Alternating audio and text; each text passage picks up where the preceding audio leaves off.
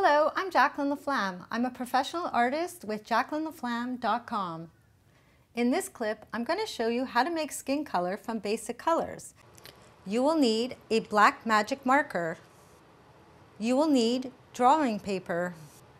You will need a pencil sharpener. You will need colored pencils.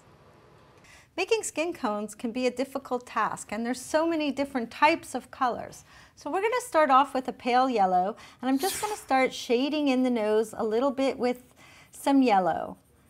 And if we want to make it a, the skin tone a little bit darker, we can start adding a little bit of a darker orange over it and just start working it in. You want to keep your pressure on your pencil very light at this point and just work in the colors and just start blending the colors.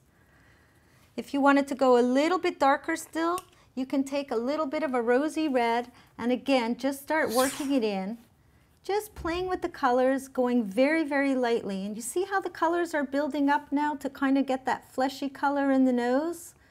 Just a little bit. You want to keep the edges of, of the face a little bit darker.